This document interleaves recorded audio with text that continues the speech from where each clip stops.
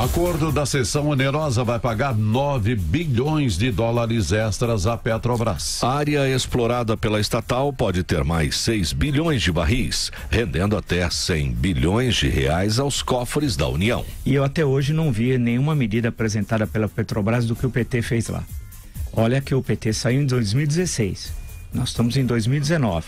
Daqui a pouco completa três anos, efetivamente, quando foi a saída da Dilma. Né? E é inacreditável, o tempo passa e nada foi apresentado. O, pre, o presidente da República disse em entrevista a Augusto Nunes, aqui à Rádio Jovem Pan, que vai fazer a devassa do BNDES também.